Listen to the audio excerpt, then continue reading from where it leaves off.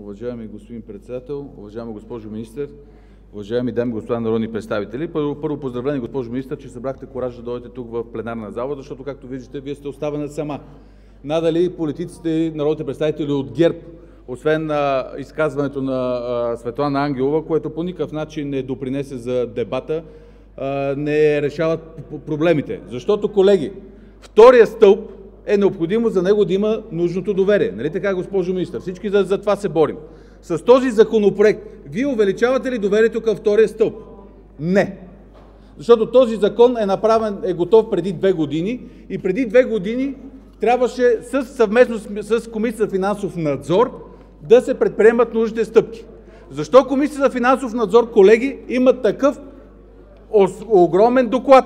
Защото има съмнения относно функционирането на тези фондове и не дай си боже, това трябва да е ясно, от трибуната го заявявам, един ден да се случи нещо, Комисията за финансов надзор казва: ама чакайте, ето го нашия доклад, Вие депутатите са тези, които не приеха предложенията. Така ли е? Така е. Защото когато се говорят за засилване на гаранциите и на уставния капитал, кажете какво, колеги, трябва ние да мислим, че се случва именно с тези фондове. Неслучайно може би било хубаво и финансовият министър да е тук, защото спомням си един парламент, когато министър Горанов имаше една идея, която от ГЕРБ, или по-скоро отвън, не я приехте, която може би щеше да реши абсолютно всички проблеми в момента, които има. Само че в продължение на една година Вие мълчахте, не сложихте този законопроект поради външни давления на, на, на дневния ред на парламента. Сега идвате тук с този законопроект, който казвате, че едва ли не ще реши проблемите. Напротив, той ще ги задълбочи. И това показва начинът, по който управлявате Вие. Вие нямате нито един проблем, който да бъде, да, да бъде намерен устойчиво решение, така че след месец-два да, да не променяме законите. Вие работите на парче и не желаете трайно решаване на проблемите.